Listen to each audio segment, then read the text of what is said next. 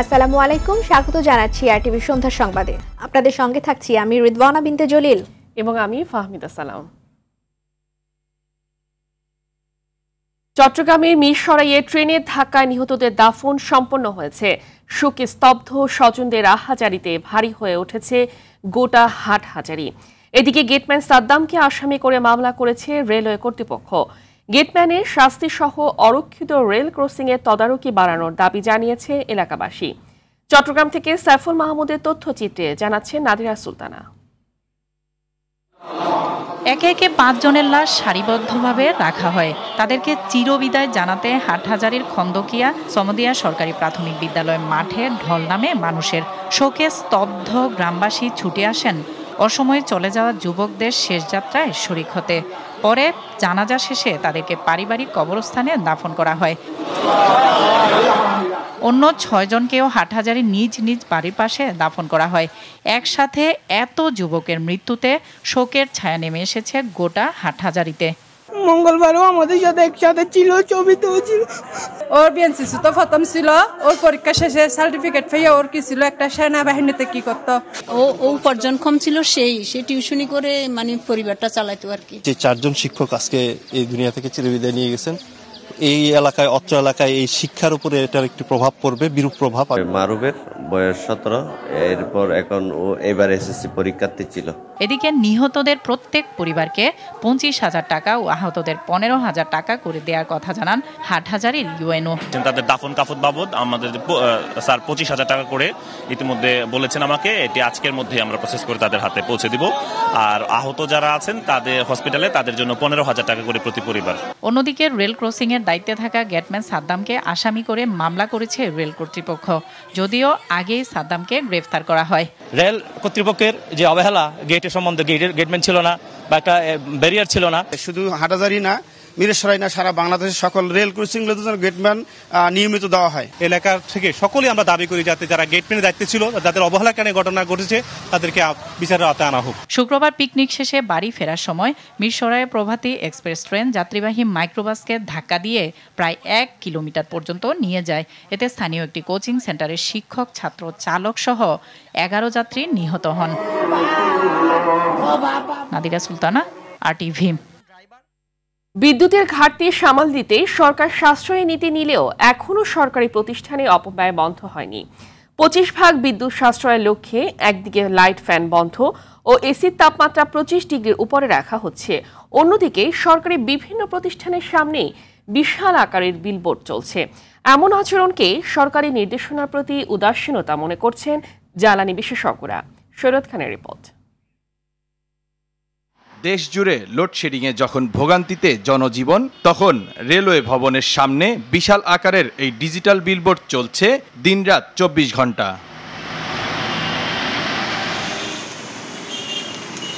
শুধু রেলওয়ে ভবন নয়, বেশিরভাগ সরকারি ভবনের সামনে রয়েছে এমন বিলবোর্ড অফিস শেষেও চলছে কোনো কোনোটি।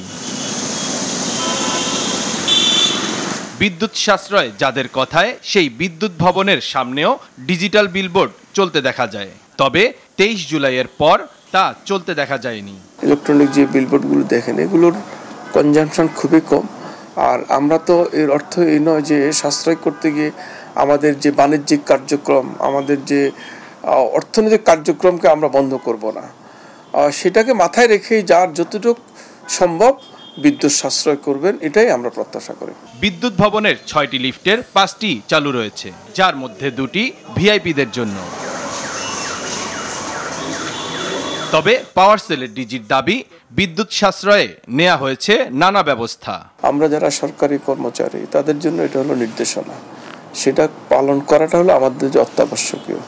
সেই অনুযায়ী কিন্তু সরকারি অফিস আদালতে এখন বিদ্যুৎ সাশ্রয়ী যত কার্যক্রম সব কিছু কিন্তু সেই অনুযায়ী চলছে। সরকারি ভবনগুলোর পাশাপাশি বেসরকারি ভবনগুলোতেও একই অবস্থা। বিদ্যুৎ সাশ্রয়ের কথা বলা হলেও এখনও বিভিন্ন স্থানে দেখা যায় আলোকসজ্জা। এমনকি রাজধানীর ধানমন্ডি লেকে গিয়েও দেখা যায় নানা ধরনের লাইট দিয়ে সাজানো রয়েছে পুরো লেক। বিদ্যুতের ঘাটতি সামাল দিতে নির্দেশনা দিয়ে এখন সরকারি প্রতিষ্ঠানগুলোই গাফিলতি করছে বলে অভিযোগ বিশেষজ্ঞদের। সিদ্ধান্ত বাস্তবায়ন করার ব্যাপারে সরকারের শাসন বিভাগের তাদের নিজ নিজ ক্ষেত্রে নিজ নিজ জায়গায় নিজ নিজ বাড়ি নিজ নিজ অফিস পরিসরে লোডশেডিং নিজের ঘাড়ে নেওয়া নিজে শেয়ার করার জন্য যে বিবেচনা বোধ দরকার ছিল সেটা কমপ্লিটলি অনুপস্থিত না থাকলে কি করে বিলবোর্ড চালু রাখতে পারে? ঊর্ধ্বতন কর্মকর্তাদের অনলাইনে অফিস পরিচালনা সহ বিদ্যুৎ সাশ্রয়ে আরও কার্যকর পদক্ষেপ নেয়ার পরামর্শ বিশেষজ্ঞদের। যারা এসি চা এসি চালিয়ে মানে অফিসে অফিস করে তারা বাড়ি বসে অনলাইনে অফিস করলেও ক্ষতি নেই। শরীয়ত খান আর টিভি ঢাকা। নরসিংদীতে ঘন ঘন লোডশেডিংয়ে বিপর্যস্ত হয়ে পড়েছে জনজীবন। দিন এবং রাতের বেশিরভাগ সময় বিদ্যুৎ না থাকায় থমকে যাচ্ছে মানুষের স্বাভাবিক কাজকর্ম। সরকারি শিডিউলের এক ঘণ্টার অতিরিক্ত লোডশেডিং দেখা দেয় ক্ষতির মুখে পড়েছে জেলার পোলট্রি শিল্প সহ বিভিন্ন শিল্প কারখানা নরসিংদী থেকে নূরে আলম রনির তথ্যচিত্রে বিস্তারিত জানাচ্ছেন শাহাবুদ্দিন শিহাব। ভয়াবহ লোডশেডিংয়ের কবলে পড়েছে শিল্পের জন্য অন্যতম গুরুত্বপূর্ণ জেলা নরসিংদী। দিনে ও রাতে সমান্তালে ঘণ্টার পর ঘণ্টা বিদ্যুৎবিহীন কাটাতে হচ্ছে এখানকার মানুষদের। অব্যাহত লোডশেডিং আর ভ্যাবসা গরমে জনজীবন হয়ে পড়েছে দুর্বিষহ সন্ধ্যা সাতটার দিকে গেলে দশটার দিকে আসে দু তিন ঘণ্টা থাকে না। এই মুহূর্তে পোলাপানের লেখাপড়া হয় না। লোডশেডিংয়ের কবলে পড়ে বিপাকে জেলার পোলট্রি শিল্প। দিনের অধিকাংশ সময় বিদ্যুৎ না পেয়ে প্রচণ্ড গরমে মারা যাচ্ছে অনেক মুরগি। বিদ্যুৎ লোডশেডিং এর কারণে মনে করেন দেখা গেছে যে এক ঘণ্টার মধ্যে সত্তর আশি হাজার টাকার মুরগা মরিয়া দেখা। এক দেড়শো মুরগা মরিয়া দেখা ফাঁচি দিয়ে নিয়ে ফেলাইতে হবে, বস্তা বইটা নিয়ে ফেলাইতে হবে। এদিকে অবিরাম লোডশেডিংয়ে দেশের সবচেয়ে বড় পাইকারি কাপড়ের বাজার শেখের চর বাবুরহাটের বেচাকেনা নেমে এসেছে প্রায় অর্ধেকে। প্রতিদিন পাঁচ ছয় থেকে ছয়বার লোডশেডিং হয়। এই বিদ্যুতের কারণে আমরা আমাদের মাল দেখাতে পারি না। মানে ডিপ কালার দেখা যায় সব। একই সাথে ক্ষতির মুখে পড়েছে জেলার ছোট বড় শিল্প কারখানাগুলো। বিশেষ করে নরসিংদী সদর ও মাধবদীতে গড়ে ওঠা হাজারো পাওয়ারলুম লোডশেডিংয়ের কারণে এখন বন্ধের পথে। বিদ্যুতের ঘাটতির কারণে আমরা প্রোডাকশন দিতে পারতেছি না। দিনের ভিতরে তিন থেকে চারবার কারেন্ট যাচ্ছে এক একবার কারেন্ট গেলে দুই ঘণ্টা আড়াই ঘণ্টা থাকে। তবে ব্যবসায়ীদের সাময়িক ক্ষতি মেনে নেওয়ার আহ্বান জানান এই নেতা। শিল্প মালিকরাও মেনে নিয়েছে এবং আমরা রেশনিং পদ্ধতিতেই আমরা বিদ্যুৎ সাশ্রয়ের জন্য সকলকে আহ্বান জানিয়েছি। এদিকে তিনশো বিশ মেগাওয়াট বিদ্যুতের চাহিদার বিপরীতে জাতীয় গ্রিড থেকে দেয়া হচ্ছে দুইশো পঞ্চাশ থেকে দুশো ষাট মেগাওয়াট দাবি বিদ্যুৎ বিভাগের। এলাকা ভিত্তিক আমরা লোডশেডিং করছি। লোডশেডটা হলো এক ঘণ্টার জায়গায় দুই ঘণ্টা কন্টিনিউ করতে হয় যেটা আমাদের তখন আর আমাদের হাতের মধ্যে থাকে না। দ্রুত সময়ের মধ্যে বিদ্যুতের এই সংকট কাটিয়ে উঠবে দেশ এমন প্রত্যাশা সবার। শাহাবুদ্দিন শিহাব আরটিভি দিনাজপুরের বড়পুকুরিয়া কয়লা খনির বাউন্ন জন শ্রমিক করোনায় আক্রান্ত হয়েছে। ফলে পরীক্ষামূলকভাবে কয়লা উত্তোলনের তিন দিনের মাথায় কার্যক্রম বন্ধ ঘোষণা করেছে কর্তৃপক্ষ। আজ সকাল থেকে এই কার্যক্রম বন্ধ রয়েছে। সাতাশ জুলাই বড়পুকুরিয়ার নতুন কূপে কয়লা উত্তোলন কার্যক্রম শুরু হয়। খনিতে তিনশো জন চীনা ও চারশো জন বাংলাদেশি শ্রমিক কাজ করছিলেন। এর মধ্যে ২৬ জুলাই একশো তেতাল্লিশ জন শ্রমিকের নমুনা পরীক্ষা করা হয়। এতে ষোলো জনের করোনা পজিটিভ পাওয়া যায়। পরে আঠাশ জুলাই আবারও তিনশো পাঁচ জন চীনা ও বাংলাদেশি শ্রমিকের করোনা নমুনা নেওয়া হয়। এর মধ্যে চৌত্রিশ জন চীনা ও দুজন বাংলাদেশি শ্রমিকের করোনা পজিটিভ আসে। সরকারের সীমাহীন দুর্নীতি আর মেগা প্রকল্পে মেগা চুরির কারণে লোডশেডিং মাত্রা ছাড়িয়েছে বলে অভিযোগ করেছেন বিএনপির মহাসচিব মির্জা ফখরুল ইসলাম আলমগীর। সরকার পতনের লক্ষ্যে এক দফা আন্দোলনের প্রস্তুতি নিতে নেতাকর্মীদের নির্দেশ দিয়েছেন তিনি। আর ওবায়দুল কাদের বলেছেন, আওয়ামী লীগকে ধাক্কা দিতে গেলে বিএনপি খাদে পড়ে যাবে। বিএনপি সরকার পতনের আন্দোলন পাগলের প্রলাপ বলেও মন্তব্য করেছেন তিনি। মাইদুর রহমান রুবেল আরও জানাবেন। সারা দেশে লোডশেডিং ও জ্বালানি খাতে অব্যবস্থাপনার প্রতিবাদে জাতীয় প্রেস ক্লাবের সামনে বিক্ষোভ সমাবেশ করে ঢাকা মহানগর দক্ষিণ বিএনপি যখন তারা শুরু করল বিদ্যুৎ উৎপাদন বাড়াবে। সরকারের সীমাহীন দুর্নীতি আর মেগা প্রকল্পের নামে মেগা চুরির কারণে আজ বিদ্যুতের লোডশেডিং এর মাত্রা ছাড়িয়েছে বলে অভিযোগ করেছেন বিএনপি মহাসচিব মির্জা ফখরুল ইসলাম আলমগীর। বলেন দেশের অর্থনীতি আজ হুমকির মুখে। সিন্ডিকেট করে বাড়ানো হচ্ছে ডলারের দাম। বলেন, সরকার পতন ছাড়া জনগণের মুক্তি নেই। প্রয়োজনের অনেক বেশি বিদ্যুৎ উৎপাদনের সক্ষমতা বাংলাদেশ এখন তৈরি করেছে। কিন্তু আজকে লোডশেডিং কেন? বিদ্যুৎ উৎপাদনের নাম করে হাজার হাজার কোটি টাকা পাচার করেছে দেশের বাইরে। আরেকদিকে আমদানি করছে গ্যাস জ্বালানি হিসেবে। এলএনজি এলপিজি এর মালিকগুলো কারা আমদানি করে? সব হচ্ছে আপনার ওই আওয়ামী লীগের ব্যবসায়ীরা। এদিকে গণমাধ্যমে পাঠানোর এক ভিডিও বার্তায় ওবায়দুল কাদের বলেছেন যে দল নিজেদের নেত্রীর মুক্তির জন্য আন্দোলন করতে পারে না তাদের মুখে সরকার পতনের আন্দোলনের হুমকি মানায় না। তাদের সরকার পতন আন্দোলন মানে নিজ দলের নেতাকর্মীদের মাঝেই এক গভীর দীর্ঘশ্বাস। যে দল নিজেদের নেত্রীকে মুক্ত করার আন্দোলন করতে পারে না তারা আবার সরকার পতন ঘটাবে এটা পাগলের প্রলাপ ছাড়া আর কি। মহানগর উত্তর আওয়ামী লীগের ওয়ার্ড সম্মেলনে বাহাউদ্দিন নাসিম বলেছেন বৈশ্বিক সংকট নিয়ে যারা মিথ্যা অপপ্রচার চালিয়েছে তাদেরকে দাঁত ভাঙা জবাব দেওয়া হবে। মিথ্যাচার বন্ধ করুন অপপ্রচার বন্ধ করুন। মাইদুর রহমান রুবেল আর টিভি ঢাকা দু সালে নির্বাচনে মাত্র পাঁচটি আসন পাওয়ায় বিএনপিকে নির্বাচন ভীতি পেয়ে বসেছে। দুপুরে নীলফামারী জলঢাকা উপজেলা আওয়ামী লীগের ত্রিবার্ষিক সম্মেলনে কথা বলেন তথ্য ও সম্প্রচার মন্ত্রী ডক্টর হাসান মাহমুদ। তিনি বলেন, সব দলের অংশগ্রহণে একটি উৎসব মুখর পরিবেশে নির্বাচন চায় সরকার। সেখানে বিএনপি অংশ নেবে। উপজেলা আওয়ামী লীগের ভারপ্রাপ্ত সভাপতি অধ্যাপক গোলাম মোস্তফার সভাপতিত্বে সম্মেলনে আওয়ামী লীগের সাংগঠনিক সম্পাদক ও রংপুর বিভাগের দায়িত্বপ্রাপ্ত নেতা শাখওয়াত হোসেন শফিক, উপপ্রচার ও প্রকাশনা সম্পাদক আমিনুল ইসলাম আমিন, জেলা আওয়ামী লীগের সভাপতি দেওয়ান কামাল আহমেদ সহ সংশ্লিষ্টরা এ সময় উপস্থিত ছিলেন। অর্থনীতির নানা চ্যালেঞ্জের মুখে ডলারের বাজারে অস্থিরতা ঠেকাতে। আন্তর্জাতিক মুদ্রা তহবিল আইএমএফ থেকে ঋণ নেওয়ার সিদ্ধান্তকে যৌক্তিক বলে জানিয়েছেন অর্থনীতিবিদরা। তাদের মতে, সংস্থাটির দেয়া কঠিন শর্তগুলো দেশের প্রশাসনিক অবকাঠামো উন্নয়নে সহায়তা করবে। তবে কৃষি এবং জ্বালানি খাতে ভর্তুকি হ্রাস শর্তের ব্যাপারে নমনীয় হতে আইএমএফ এর সাথে আলোচনা চালিয়ে যাওয়ার পরামর্শ বিশ্লেষকদের। সেলিম মালিকের রিপোর্ট। রাশিয়া ইউক্রেন যুদ্ধে সারা বিশ্বের মতো বাংলাদেশেও এখন এক নম্বর সমস্যা মূল্যস্ফীতি, যা ঠেকেছে সাত দশমিক পাঁচ ছয় শতাংশে। প্রবাসী আয়ে প্রবৃদ্ধি কমেছে পনেরো দশমিক এক দুই শতাংশ। ইতিহাসে সর্বোচ্চ বাণিজ্য ঘাটতির মুখে অর্থনীতি, তিন হাজার ছিয়াশি কোটি ডলার। আর এমন বাস্তবতায় ডলার সংকটে আতঙ্ক ছড়িয়ে পড়েছে ব্যাংক পাড়ায় সংকট সমাধানে সরকার কঠিন শর্তে চারশো পঞ্চাশ কোটি ডলার ঋণ নিতে যাচ্ছে আইএমএফ এর কাছ থেকে। 189 countries that aims to accomplish তবে এ নিয়ে দেশের অর্থনীতিবিদদের মনোভাব ইতিবাচক। ফরেন কারেন্সি মার্কেটে যে অস্থিরতা সেইটা মোকাবেলা করার জন্য আমি মনে করি যে গভর্নমেন্ট যে অ্যাপ্রোচ করেছে সেটি খুবই যৌক্তিক। আইএমএফ থেকে ঋণ নিতে হলে পরিপালন করতে হবে ভ্যাট ট্যাক্স আদায়ে কঠোর রাজস্ব নীতি।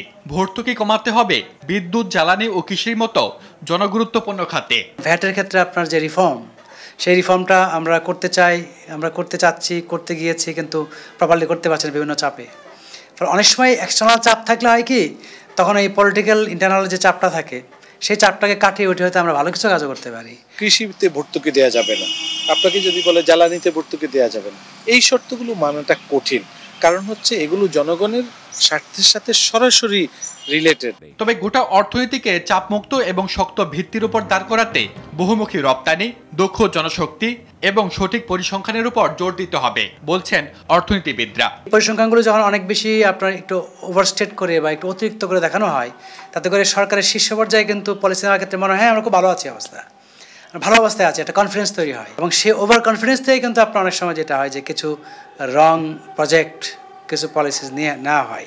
কেন্দ্র ব্যাংক ডলারের দাম চুরানব্বই টাকার আশেপাশে নির্ধারণ করলেও তা ব্যাংক এবং খুচরা বাজারে বিক্রি হচ্ছে পঁচানব্বই থেকে একশো উনিশ টাকা পর্যন্ত। সেলিম মালিক আরটিভি ঢাকা। রাজধানী কাফরুলের একটি ভবনের সাততলা থেকে পড়ে তানিয়া আক্তার নামে এক গৃহকর্মীর রহস্যজনক মৃত্যু হয়েছে। এলাকাবাসী অবশ্য বলছেন তাকে হত্যা করা হয়েছে। গৃহকর্তা আশরাফুজ্জামান অনেক দাবি করেছেন, ছাদ থেকে লাফিয়ে পড়ে তা নিয়ে আত্মহত্যা করেছেন। মেয়েটির দুই হাত ভাঙা, মুখে আঘাতের চিহ্ন ছিল বলে জানিয়েছে ঢাকা মেডিকেলের কর্তব্যরত চিকিৎসক। বিস্তারিত বিল্লাল হোসেনের রিপোর্টে। শুক্রবার সন্ধ্যা সাতটার দিকে রাজধানীর পূর্ব কাজীপাড়ার মাদ্রাসা রোডের এই ভবনের সাততলা থেকে তানিয়া আক্তার নামে এক তরুণীকে ফেলে দেওয়া হয়েছে। এমন খবর ছড়িয়ে পড়লে বাড়ি ঘেরাও করে এলাকাবাসী। পরে মুমূর্ষ অবস্থায় তাকে ঢাকা মেডিকেলে নিলে চিকিৎসক রাত নয়টায় মৃত্যু ঘোষণা করে। স্থানীয়দের অভিযোগ, তানিয়াকে বাসার ছাদ থেকে ফেলে হত্যা করা হয়েছে। কেননা মেয়েটির হাতের কবজি বিচ্ছিন্ন এবং মুখে আঘাতের চিহ্ন ছিল। উপরে তো ফালাই দিয়েছে, এটাই শুনছি। আর আমরা তো দেখিনি আর কি। মেয়েটা মারাই গেছে এই জায়গায়। ডেড বডি পরে ওরা ওই ভিতরে নিয়ে দেখলাম গাড়ির মধ্যে নিয়ে বাইরে গেছে। আর আমাদের কই আপনারা জানবেন যে সব। গেছে হাত রয়েছে গাছের মধ্যে ফুটিয়া এই দুই খণ্ড ইয়ে ফুটিয়ে রয়েছে পরার পরে এক বেটায় নামিয়ে পরে লাশ খুলে করিয়া ভিতরে লই গেছে। ভিতরে লই যাওয়ার পর বিশ মিনিট পরই মনে করেন একটা মাই মাইকোতে ভরিয়া হ্যাঁ হেরা লইয়ে গেছে। মাইয়ার তো আমরা এই যে এক বছর মনে মনে পুরা বছরে একদিন বা দুদিন দেখছি। উপর থেকে নিচে নামিয়ে এ সময় গৃহকর্তার বাসায় ঢুকতে দেওয়া হয়নি কোনো গণমাধ্যম কর্মীদের। বিষয়টি নিয়ে তদন্ত চলছে। এটি হত্যা না আত্মহত্যা? তদন্ত রিপোর্ট শেষে বলা যাবে বলে জানিয়েছে পুলিশ। ছাদ থেকে পড়েছে। এটা সে কেউ পড়েছে নাকি কেউ ফেলে দিয়েছে, এটা তো তদন্তের বিষয়। এটা তো এখনই বলা সমীচীন না বা আমরা বলব না, সেটা তো তদন্ত সাপেক্ষে আসবে। এবং ইতিমধ্যে মেয়েটার বাবা মাকেও খবর পৌঁছানো হয়েছে। তাদের কি বক্তব্য আসে বা ওখানকার তদন্ত তদন্তে কি আসে? সব কিছু মিলিয়ে আইন আইনগত যে আইনগতভাবে যেটা হওয়ার সেটাই হবে। এদিকে শনিবার বিকেল পর্যন্ত তানিয়ার মৃতদেহ নিতে ঢাকা মেডিকেল কলেজ হাসপাতালের মর্গে আসেনি কোনো স্বজন। Billal Hossain R TV Dhaka. বৈশ্বিক পরিস্থিতি বিবেচনায় নিয়ে ঋণ বিতরণে সচেতন হওয়ার নির্দেশ দিয়েছেন মার্কেন্টাইল ব্যাংকের পরিচালনা পর্ষদের চেয়ারম্যান আলহাজ মোর্শেদ আলম এমপি। তিনি উন্নয়ন লক্ষ্যমাত্রা অর্জনে কর্মকর্তাদের একসঙ্গে কাজ করার আহ্বান জানিয়েছেন। সকালে রাজধানীর মতিঝিলে মার্কেন্টাইল ব্যাংকের প্রধান কার্যালয়ে অর্ধবার্ষিক বিজনেস রিভিউ কনফারেন্স দুই হাজার বাইশ এ ভার্চুয়ালি অংশ নিয়ে এই আহ্বান জানিয়েছেন তিনি। কনফারেন্সে বক্তব্য রাখেন ব্যাংকের ব্যবস্থাপনা পরিচালক এবং প্রধান নির্বাহী Mohammad Kamrul Islam Chowdhury, vice chairman A S M Firoz Alam, নির্বাহী কমিটির চেয়ারম্যান মোহাম্মদ আনোয়ারুল হক, ঝুঁকি ব্যবস্থাপনা কমিটির চেয়ারম্যান এম আমানুল্লাহ।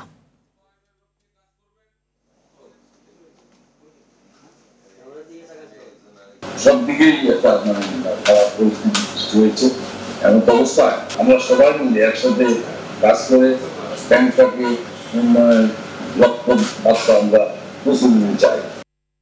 সারা বিশ্বে মাঙ্কিপক্সের সতেরো হাজার রোগী শনাক্ত এবং পঁচাত্তর জনের মৃত্যু হয়েছে।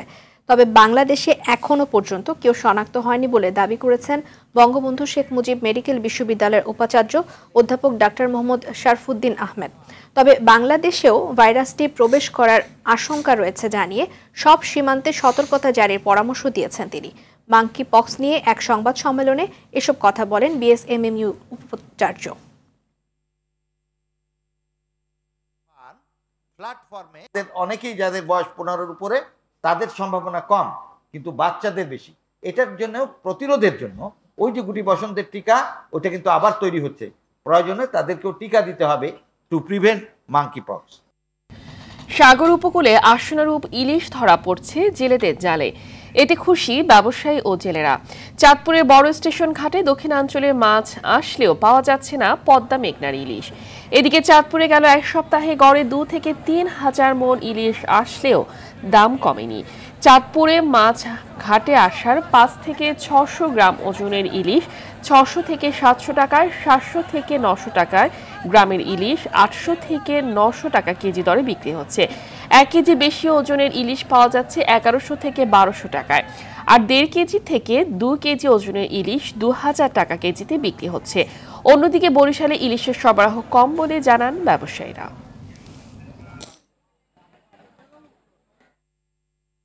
ইলিশ বেচা কেনার খবর জানাতে ঝালকাঠি থেকে সরাসরি যোগ দিচ্ছেন সহকর্মী জহিরুল ইসলাম জলিল।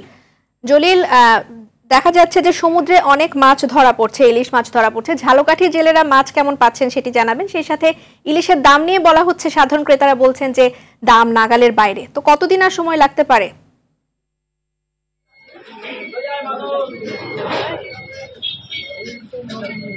যেমনটি বলছিলেন, আমি এখন দাঁড়িয়েছি ঝালকাঠির চাটকাঠি মাছ বাজারে। এই মাছ বাজারে কিন্তু সকাল এবং রাতে দুবেলা এখানে মাছের বাজার বসে। এছাড়া আমাদের ঝালকাঠির যে বড় বাজারটি আছে, সেই বাজারটি সকালবেলা শুধু বসে। তবে এই বাজারে আমরা যেটি দেখতে পেয়েছি যে এখানে এখন ইলিশের মৌসুম চললেও এখানে জেলেরা তেমন মাছ পাচ্ছে না। বলে জানিয়েছেন জেলেরা যা মাছ পাওয়া যাচ্ছে তা তাদের আশানুরূপ নয়। তবে যেই পরিমাণ মাছ পাওয়ার কথা এখন জেলেরা সেই পরিমাণ মাছ পাচ্ছেন না বলে জানিয়েছেন। যেটা মনে করছেন যে বৃষ্টি এবং পানির লভ্যতা কম থাকায় মাছ পাওয়া যাচ্ছে না। তবে য- ইলিশগুলো পাওয়া যাচ্ছে, সেই ইলিশগুলো বড় আকারের ইলিশ। এই বাজারে কিন্তু আমরা দেখতে পাচ্ছি যে এখানের যে এক কেজি সাইজের ইলিশ সেই ইলিশগুলো বিক্রি হচ্ছে পনেরোশো টাকা। এক কেজির উপরে যে মাছগুলো রয়েছে, সেগুলো পনেরোশো থেকে সতেরোশো টাকা। এর নিচেরগুলো এক হাজার টাকায় বিক্রি হচ্ছে। তবে এই এত দামের মাছ মানে সাধারণ ক্রেতাদের পক্ষে ক্রয় করা সম্ভব না। তবে মৎস্য বিভাগের সাথে আমরা কথা বলেছি। মৎস্য বিভাগ বলেছে যে হয়তো সামনে আরও কিছুদিন গেলে মাছ ইলিশ যে শিকার, সেই এখানের জেলেরা মাছ আরও আশানুরূপ পাবে এবং এখানে ঝালকাঠি জেলার যে মৎস্য চাষি, সেই মৎস্য চাষি রয়েছেন নিবন্ধিত আট হাজার ছয় হাজার আটশো পঁচাশি জন। এই যে নিবন্ধিত জেলেরা রয়েছেন, তারা কিন্তু দীর্ঘদিন যে মাছ ধরার যে বন্ধ থাকার যে নিষেধাজ্ঞা ছিল, সেই নিষেধাজ্ঞা থেকে তারা বিরত ছিলেন। এখন তারা মাছ শিকারে নামছেন। এই ছিল আমার কাছে মৎস্যবাজারের সর্বশেষ সংবাদ। জহিরুলকে ধন্যবাদ। পটুয়াখালীর রাঙাবালী উপজেলার সোনারচর সংলগ্ন বঙ্গোপসাগরে ছাব্বিশটি ট্রলারে ডাকাতির ঘটনা ঘটেছে। বৃহস্পতিবার রাতে সোনারচর থেকে পঁচিশ কিলোমিটার দূরে গভীর বঙ্গোপসাগরের ছয় বাম এলাকায় এই ঘটনা ঘটে। জেলেরা জানান, রাত আটটার দিকে বাইশ থেকে তেইশ জন ডাকাত দেশীয় অস্ত্র নিয়ে ট্রলারগুলোতে হামলা চালিয়ে নগদ টাকা, মাছ ও সব মালামাল লুট করে নিয়ে যায়। এ সময় ডাকাতরা নয় জেলে সহ এফ বি ভাই ভাই নামের একটি ট্রলার ডুবিয়ে দেয়। পরে সাগর থেকে মা বাবার দোয়া নামে একটি ট্রলার তাদের উদ্ধার করে। এ ঘটনায় আতঙ্ক বিরাজ করছে জেলেদের মাঝে। ঠাকুরগাঁওয়ের পীরগঞ্জ পৌর শহরের একটি কবরস্থান থেকে মাটি খুঁড়ে কঙ্কাল চুরির অভিযোগ পাওয়া গেছে। শুক্রবার রাতে শহরের পীর ডাঙ্গে কবরস্থানে এই ঘটনা ঘটে। আজ সকালে বিষয়টি জানাজানি হলে এলাকায় চাঞ্চল্য সৃষ্টি হয়। আর এ বিষয়ে পীরগঞ্জ থানার ওসি জাহাঙ্গীর আলম জানান যে সতেরো থেকে আঠারোটি পুরাতন কবর মাটি খোঁড়া অবস্থায় দেখা যায়। তবে কয়টি কঙ্কাল চুরি হয়েছে তা জানাতে পারেননি তিনি। পুরাতন কবর থেকে আঠারোটা কবর থেকে লাশ বা কঙ্কাল কিংবা কারা এখান থেকে উঠিয়ে নিয়ে চলে গেছে। সকাল থেকেই যে আঠারো উনিশটা কবর থেকে এই একই ব্যাপার। পীরগঞ্জ পীরডাঙ্গি গোস্থান থেকে আমার দাদি সহ আঠারোটা লাশ কে বা কারা গতকালকে রাতে চুরি করে নিয়ে গেছে।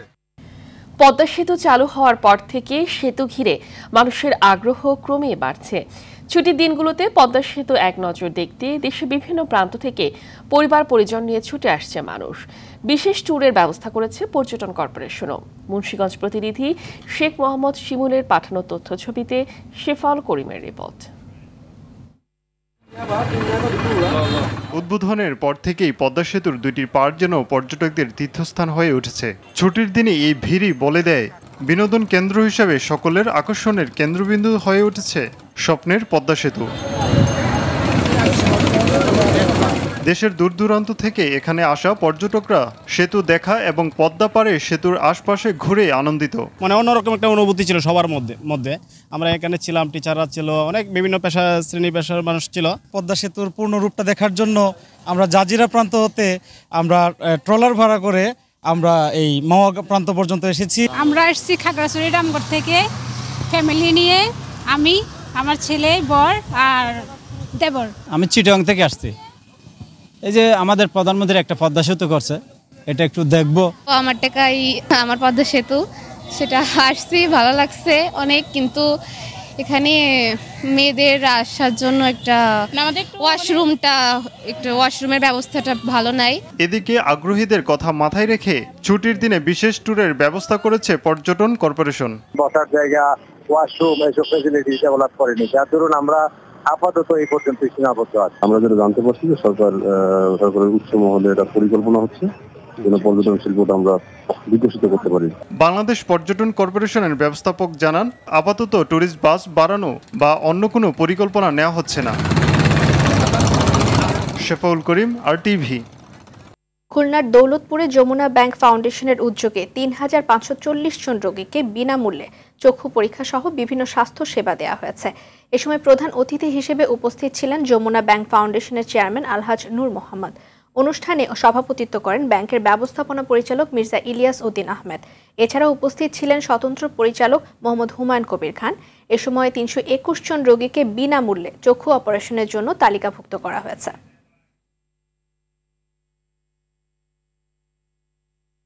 সুবিধাবঞ্চিত শিশুদের পাশে থাকতে Jaago foundation, Bashundhara special children foundation ও বিদ্যানন্দ ফাউন্ডেশনের সঙ্গে যৌথভাবে কাজ করবে Doggy Fun World. Bashundhara shopping মলে অবস্থিত এই বিনোদন কেন্দ্রে প্রতিটি টিকিট থেকে এক টাকা অসহায় শিশুদের সাহায্যের জন্য দেওয়া হবে।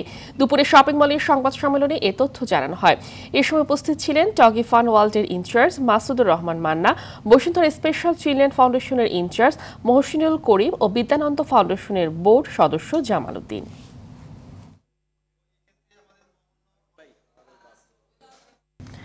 নারী সাফ চ্যাম্পিয়নশিপে ভারতের বিপক্ষে একই গ্রুপে লড়তে হবে বাংলাদেশকে। গ্রুপ এতে ভারত বাংলাদেশের সঙ্গে মালদ্বীপ ও পাকিস্তান। দুপুরে বাংলাদেশ ফুটবল ফেডারেশন ভবনে আয়োজিত ড্র অনুষ্ঠানে নিশ্চিত হয় এটি। ড্র পরিচালনা করেন সাফের মহাসচিব আনোয়ারুল হক হেলাল ও বাফুফের সাধারণ সম্পাদক আবু নাইম সোহাগ। বি গ্রুপে লড়বে নেপাল, ভুটান ও শ্রীলঙ্কা। ছয় সেপ্টেম্বর নেপালে বসবে নারী সাফ চ্যাম্পিয়নশিপ।